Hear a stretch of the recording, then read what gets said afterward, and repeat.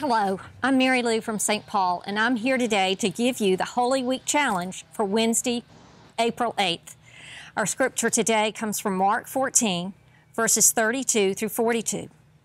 They went to a place called Gethsemane, and Jesus said to his disciples, Sit here while I pray. He took Peter, James, and John along with him, and he began to be deeply distressed and troubled. My soul is overwhelmed with sorrow to the point of death, he said to them. Stay here and keep watch. Going a little further, he fell to the ground and prayed that if possible, the hour might pass from him. Abba, Father, he said, everything is possible for you.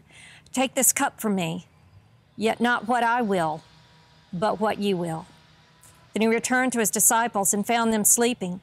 Simon, he said to Peter, Are you asleep? Couldn't you keep watch for one hour? Watch and pray so that you will not fall into temptation. The spirit is willing, but the flesh is weak. Once more he went away and prayed the same thing. When he came back, he found them again sleeping because their eyes were heavy. They did not know what to say to him. Returning the third time, he said to them, Are you still sleeping and resting? Enough. The hour has come. Look, the Son of Man is delivered into the hands of sinners. Rise, let us go. Here comes my betrayer.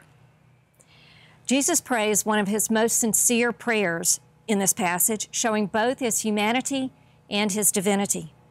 Your Holy Week challenge for today is to post on social media a photo or a video of one of your or your family's prayers and tag St. Paul United Methodist Church. Thank you for connecting our church families during Holy Week.